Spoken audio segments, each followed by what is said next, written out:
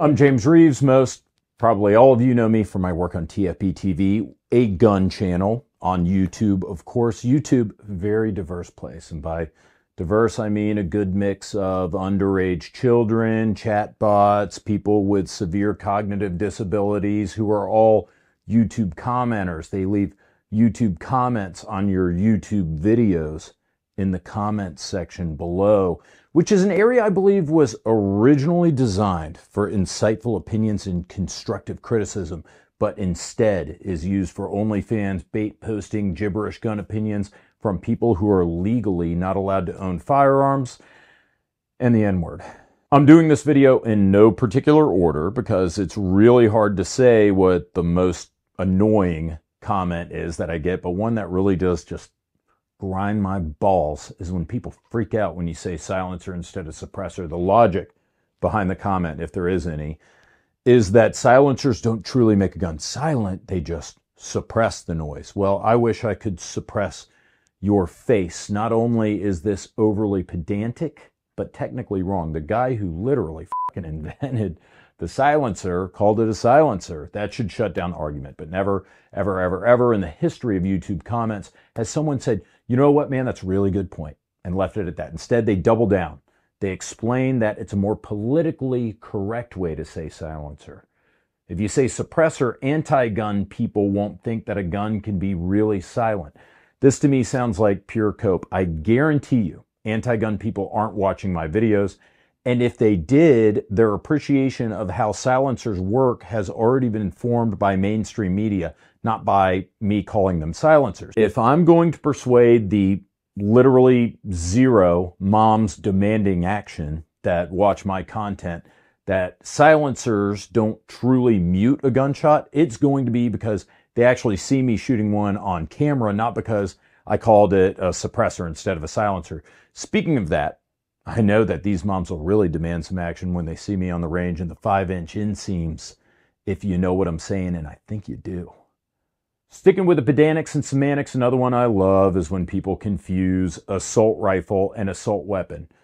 Totally agree with you. Assault weapon, politicized term. It was concocted by pro gun control spokespeople and politicians, probably in the 80s or 90s. Meaningless.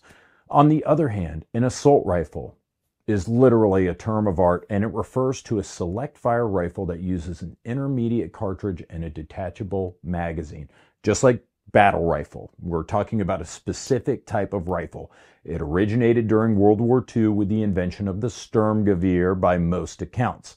When you complain about using the term assault rifle, it just shows that everything you learned about guns was from Reddit or AR15.com. Assault rifle, assault weapon, not the same thing. Another one of my favorite comments is about cell phones.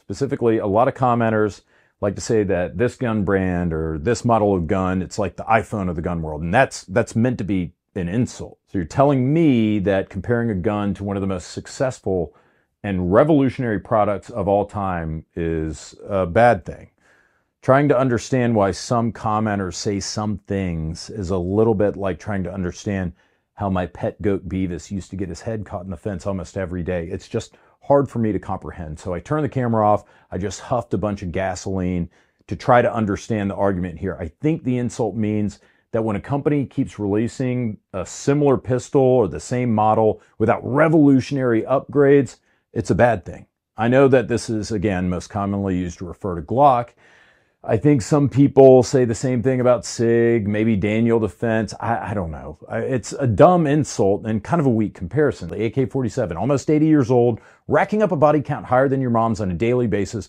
with only a few changes to the core concept over almost a century. Now, the Gen 3 Glock, invented in 1999, it's now being ripped off by every single manufacturer in the year 2024 because the patent expired. So, in other words, a 25 year old piece of technology for one company that incrementally improves it, it's the iPhone of guns, but PSA does it and they copy a version that's like 25 years old. It's the best thing ever. And even if that's true, is that a bad thing? A little bit like the iPhone, companies like Glock and SIG did such a good job the first time around that they'd be dumb to just radically overhaul their guns every few years. People want the same shit, but they don't want the same shit, if that makes sense.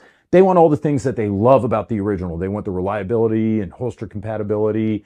They just want an update every now and then, I suppose. I'll just never get the iPhones of guns as an insult.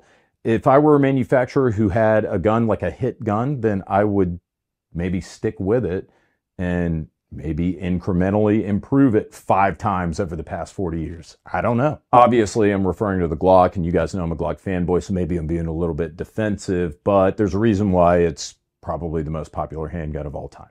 Now, this one might be the worst one. The guys who second guess the guest instructors, these illustrious guest instructors that we have in the program, we could have the butt baby of Jack Reacher and John Wick on this program, and someone would find a way to hit him with the, well, actually, you should never press check from the front of the slide. Eh, it's frankly embarrassing. But if you want one of the worst specific examples like that I'm thinking of right now from recent history, I had Jimmy Cannon on the program. I trained with Jimmy in Austria. He's one of the best instructors I know. This guy's a fucking Green Beret. And we've got no guns incels in the comments to that video who are upset because possibly one of the most dangerous men in the world says it's a good idea to look at your handgun as you reholster it. Boom, shot goes off. I'm a trigger reset. And as I bring it back home, uh, trigger finger comes out of the trigger well, look down at the holster and put it back. That's the takeaway for some people from this video who are getting knowledge from this experienced spec ops operator. How could this guy say that I should look at my gun when I reholster it? What if there's still a threat? Shouldn't I be scanning? Here's an idea. If you feel like there's maybe still a threat, how about don't holster your gun until you're sure that there isn't? Well, how can I be sure? What if I don't know that there's a threat? I mean, you can't be sure that there's not a threat right now sitting at your computer at home. So I hope you've got your Taurus G2 and your Frito smelling dick beaters right now. I've been lucky enough, I don't deserve it, but I've been lucky enough to train with some of the best trainers in the world over the years Bill Rapier, Clint Smith, Bill Blowers, Jack Daniel, Taran Butler, whoever.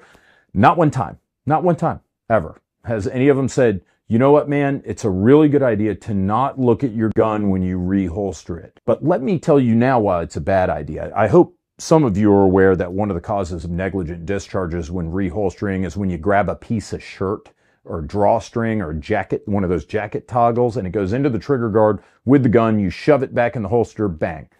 You could also bumble the gun and drop it, which freaks everyone out. I've seen this happen before, uh, especially there was one time a dude had a brand new 226 with an optic, broke his brand new optic, put a big scratch on his gun as a result. There are a lot of guys like me who also like to carry and train with inside the waistband holsters under a shirt and I'd say that it would probably be pretty dangerous to attempt to reholster without looking the gun back in. Anyways, this one drives me absolutely nuts just because I, I, hate seeing bad advice in the comments. But it's also really embarrassing for me when I have a talented instructor on the program.